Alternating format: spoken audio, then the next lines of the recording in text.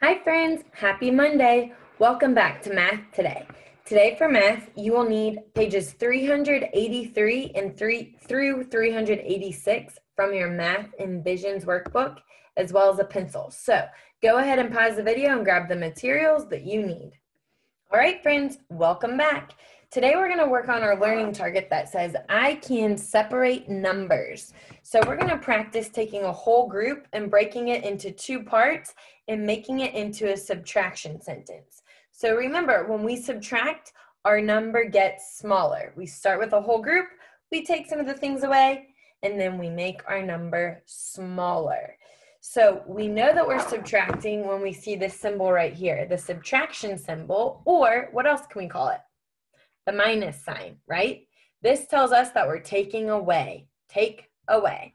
So before we jump into our activity for today, let's go over our numbers, counting, and addition practice. Ready? Let's get through it zippity quick. You guys are such smarty patardies. Here we go. We have 18, 17, 13, 9, 6, 4, 14, 11, 8, 12, 10, 19, 20, 15, 5, 7, 16, 1, 3, 2. Very good job. Now let's practice some counting, okay? Remember when we count forward, our number gets bigger. When we count backwards, our number gets smaller. So let's start out by reaching up and down. Here we go. One, two, three, four, five, six, seven, eight, nine, ten. Now reaching out front, 11, 12, 13, 14, 15, 16, 17, 18, 19, 20, 21. Er.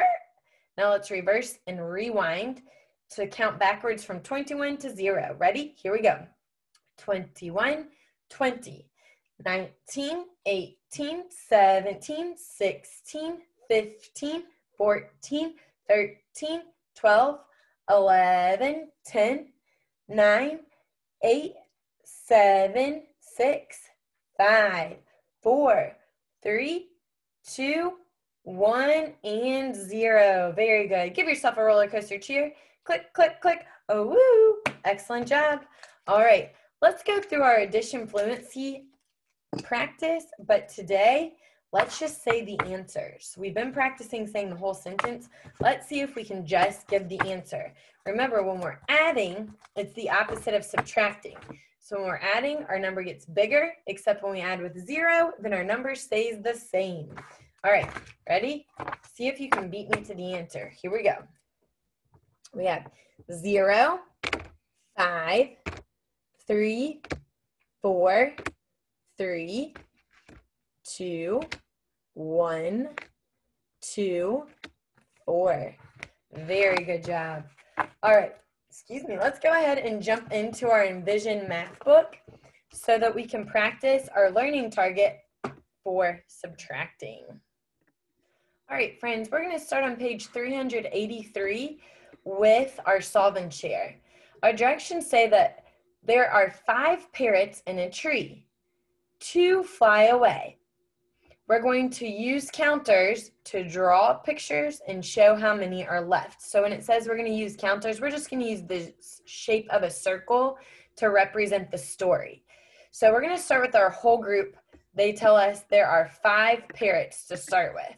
So let's draw five circles. One, two, three, four, five. Okay. How many in our story did it say flew away? Two. So we're going to mark out two. One, two. Two fly away.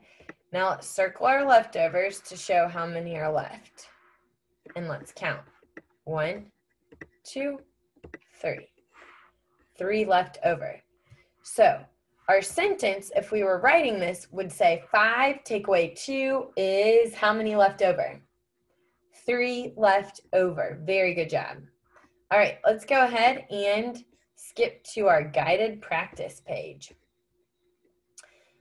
So we're going to use the pictures now to help us write a subtraction sentence or start one. But instead of writing the answer to, to the sentences, we're going to circle the leftovers, okay? So we're still gonna show all of our work that we've been practicing showing. So let's take a look at number one with the colorful looking animal. All right, ready? Let's count how many there are all together. One, two, three, four. There are four all together. So let's trace our four on the first line. Down and over and down once more. That's the way to make a four.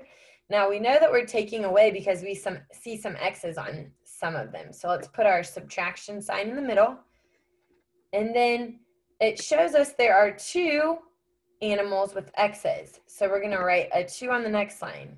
First a candy cane, then a shoe. So now we're showing four, take away two. Let's circle our leftovers. Is how many left over? One, two left over. Okay? So we start with our whole, whole group of four. We take two away. We have two left over. We're not adding, we're taking away. Let's look at the next picture with the swans. Let's count how many there are all together. One, two, three, four, five, using a different mouse today, six, seven, eight. How many are there all together? Eight. So let's write an eight. First an S, but do not wait. Go back up and close the gate. Now we see that there are X's on some of the animals, so that tells us we're taking some away. So let's put our minus sign or subtraction symbol. And how many X's do you see? Let's count. One, two, three. So on the next line, we're gonna write a three. Okay. So now let's read our sentence as it is. Eight take away three is, okay, now let's circle our leftovers. And let's count how many are inside. One, two, three, four, five left over. Okay? Very good job. So we're going to skip the next page since that's what you're going to do on your own. And we're going to go to the very last page where we always see our challenger, page 386. Okay. So we are going to listen to a story for each of the problems, and then we're going to show exactly what we just did to match the story. Okay. So it says in the first problem where there are owls, it says there are five owls, but one fly away. How many are left over? So let's show our work. First, we need to count to show that there are five. One, two, three, four, five. Okay, so let's make our five straight line down, halfway around, head on top, five is found. Okay, now it shows us that we're subtracting and it tells us how many owls fly away. One, so let's put an X on the last one and write a one on the line. So our sentence says five, take away one. Now let's mm-hmm. circle our leftovers to show that there are how many left over? One, two, three, four. Good. So you've written your sentence except for the answer at the end. This is just getting us to practice the first part of our subtraction sentence, okay?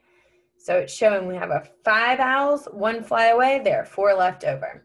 Let's take a look at our next story with the birds, okay? So it says there are eight birds and five fly away. So let's start with eight. One, two, three, four, five, six, seven, eight. We're going to write our eight on the first line. Okay, and now we're taking away. We know that because we see x's. So we're going to put a minus sign in the middle. And let's count how many x's there are. One, two, three, four, five. So let's write our five on the line. And our story even told us five flew away. Now let's circle how many are left over. And let's count how many are in the circle. Mm, whoops. One, two, three. So eight take away five is three left over. Very good. Now let's look at number nine.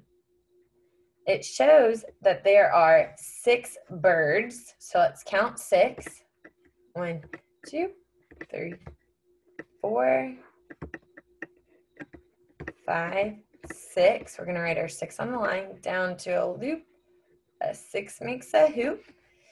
And it shows we're taking some away with the x's. So we're gonna put a subtraction symbol. Okay. Now, how many have x's on them? One, two. So two birds fly away. Now let's circle the leftovers to show we know these are the guys that didn't fly away. They're left over and let's count them. One, two, three, four. Six take away two is four left over. All right, so on the very last problem, it says that we're gonna draw the counters, the circles to match the story and then write a matching sentence. So it says that nine birds are sitting on a tree. Some fly away, but three are left. Ooh, so this time it tells us how many are left. So we need to figure out how many fly away. So let's start with our whole group of nine. Let's draw nine circles. One, two, three, four, five, six, seven, eight, nine. Okay, and I'm going to count and mark out to make sure I have nine. One, two, three, four, five, six, seven, eight, nine. I didn't draw too many or not enough, so I'm going to write my nine on the line. I know I'm taking some away, so I'm going to put my minus sign or subtraction symbol. But how many does it tell us are left over at the end? There are nine birds on a tree. We don't know how many fly away, but there are three left over, right? So let's circle the first three. One, two, three. Which means that we need to put X's on the ones outside of the circle and count. Let's count how many were flying away. One, two, three, four, five, six. Very good. So on the next line, we need to put a six to show nine birds were on a tree, six flew away, three were left over. Okay. If at all throughout this, as always, I have gone too fast, you can always rewind the video to catch yourself up. We're gonna go ahead and go back to our page 385 to go over what you're gonna post to your teacher's Google Classroom today. So on page 385, you're gonna do the exact same thing we've been practicing. You're gonna count the birds, write how many you have all together, write your subtraction symbol to show that you're taking some away, on the next line, you're gonna write how many are taken away. So how many do you see with X's? And then circle your leftovers and count how many are left, okay?